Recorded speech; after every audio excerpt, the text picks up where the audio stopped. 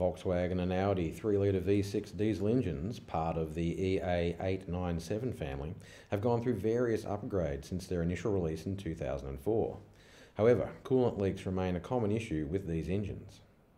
This edition of Tech Tips proudly brought to you by the Our Auto Series 3 Premium Diagnostic Tool, the essential Motortech companion.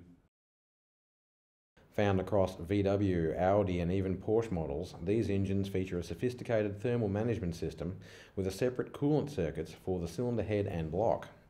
At the heart of this system is a coolant shutoff valve, a component known to fail.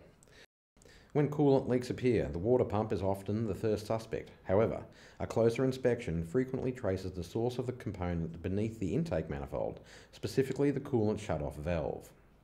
Pressure testing and using a borescope can reveal whether the valve is leaking.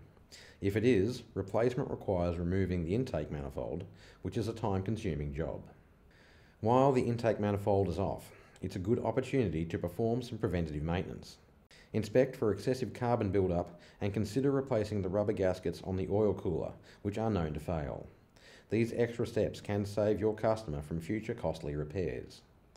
For a detailed procedure on replacing the coolant shutoff valves or to learn more about the Volkswagen 3 litre V6 diesel engines, see the October 2024 issue of VACC's Tech Talk magazine. Log on to VACC Motortech or call VACC's Tech Advisory Service.